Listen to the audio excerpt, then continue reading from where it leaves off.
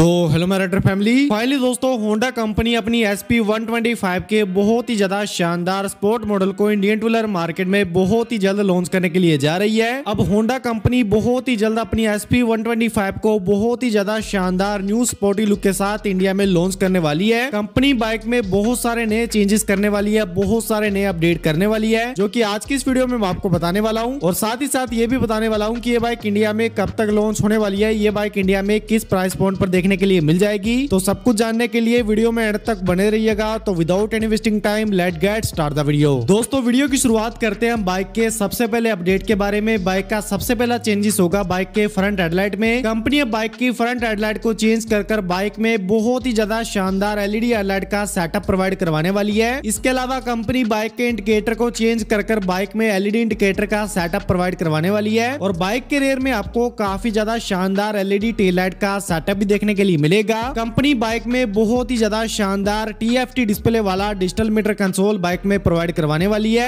इसके अलावा company bike के फेयरिंग के डिजाइन को चेंज करने वाली है बाइक में काफी ज्यादा स्पोर्टी और एग्रेसिव फेयरिंग का डिजाइन देखने के लिए मिलेगा जो पहले के मुकाबले बाइक में काफी बढ़िया लुक देने वाला है इसके अलावा कंपनी बाइक के ब्रेकिंग को भी अपडेट करने वाली है बाइक के फ्रंट में अब आपको सिंगल डिस्प्ले के साथ सिंगल चैनल एबीएस का फीचर देखने के लिए मिलेगा इसके अलावा बाइक के इंजन की पावर को भी कंपनी इनहेंस करने वाली वाली है बाइक में आपको पहले के मुकाबले काफी ज्यादा पावरफुल इंजन देखने के लिए मिलेगा बाइक में आपको 124.9 ट्वेंटी का single cylinder four stroke three valve engine देखने के लिए मिलेगा जो की काफी अच्छी पावर को प्रोड्यूस करने वाला है और अगर हम बाइक के सस्पेंशन सेटअप के बारे में बात करें तो बाइक के फ्रंट में टेलीस्कोपिक फोर्क और बाइक के रियर में मोनोशोक सस्पेंशन का सेटअप देखने के लिए मिलेगा कंपनी बाइक को बहुत ही ज्यादा शानदार नए कलर कॉम्बिनेशन के साथ इंडिया में लॉन्च करने वाली है बाइक का जो प्राइस है वो पहले के मुकाबले आपको तीन से चार हजार रूपए ज्यादा देखने के लिए मिलेगा और ये बाइक इंडिया में बहुत ही जल्द 2025 के मिड तक इंडिया में लॉन्च होने वाली है बाकी दोस्तों इस बाइक को लेकर आपका क्या ओपिनियन है ये बाइक आपको कैसे लगी मुझे कमेंट बॉक्स में कमेंट कर कर बताना बिल्कुल भी ना भूलें अगर आपको आज की वीडियो अच्छी लगी है तो वीडियो को लाइक करने के साथ चैनल को सब्सक्राइब करके बेलाइकन को प्रेस करना बिल्कुल भी ना भूले